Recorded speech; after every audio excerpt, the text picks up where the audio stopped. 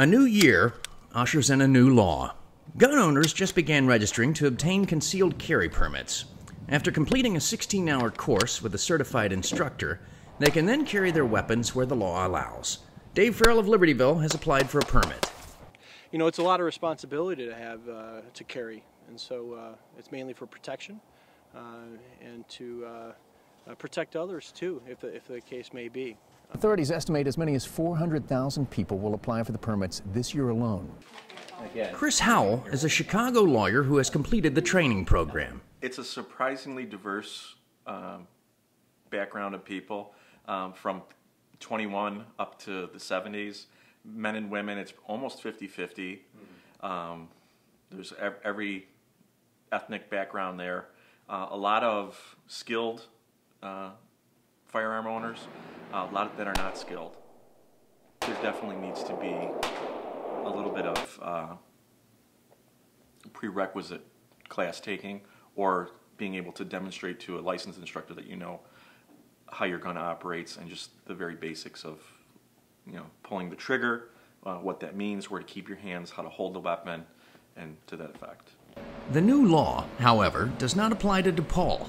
Signs have gone up around campus, reminding students, faculty, and staff that the university strictly prohibits students and employees from carrying firearms on campus. Most students seem to agree with that policy. I think I think it's okay to have guns, but I don't I don't believe in concealed carry. I don't think they should be allowed. I have mixed feelings about it.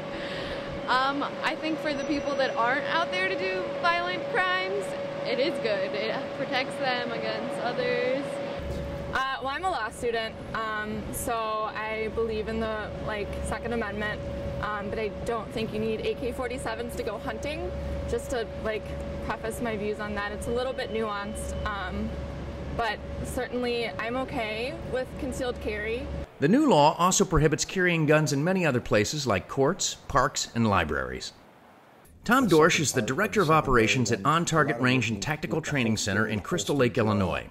What we add uh, that isn't mandated by the Illinois State Police is the psychological um, um, effects of dealing with uh, the aftermath of a shooting. And we, we go through the, how to read a situation, how to avoid situations. Uh, so our class is a mixture of not only marksmanship, but a bit of sociology, uh, psychology, emotions, uh, threat analysis, and what we try to do is deliver an overall uh, sobering picture of what it's going to be like to actually carry a handgun in the state of Illinois. Permits could take up to 90 days to be processed, meaning in April, there will be legally armed citizens walking the streets in Illinois.